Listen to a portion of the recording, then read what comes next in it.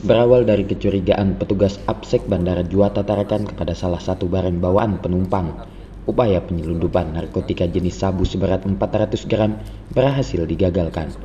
Kepala Kantor UPBU kelas 1 Utama Juata Tarakan Agus Perianto mengatakan, upaya penyelundupan narkotika jenis sabu tersebut terjadi pada Kamis 1 Juli lalu, di mana pada saat itu petugas Absek Bandara di Checkpoint mencurigai barang bawaan salah satu penumpang. Agus menjelaskan, adapun narkotika jenis sabu tersebut dibungkus di dalam snack atau makanan ringan Apollo sebanyak 16 bungkus dengan berat satu bungkusnya 25 gram, sementara sisanya 4 bungkus diisi makanan ringan Apollo.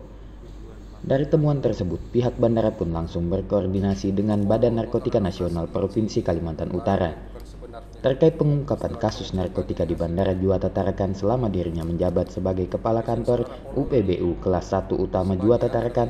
Kasus kali ini merupakan kasus keempat kalinya. Dengan hasilnya, mengungkap kasus kali ini, Agus mengingatkan agar masyarakat jangan berani berupaya menyelundupkan narkotika melalui Bandara Udara Juata Tarakan.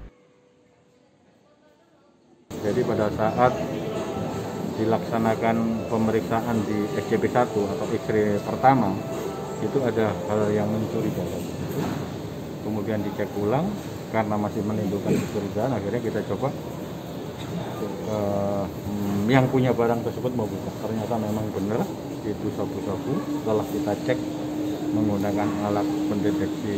Saya selama di sini empat kali pak. Dan modusnya macam-macam dan di atas 400 gram. Jan Nuryansyah melaporkan. Batik.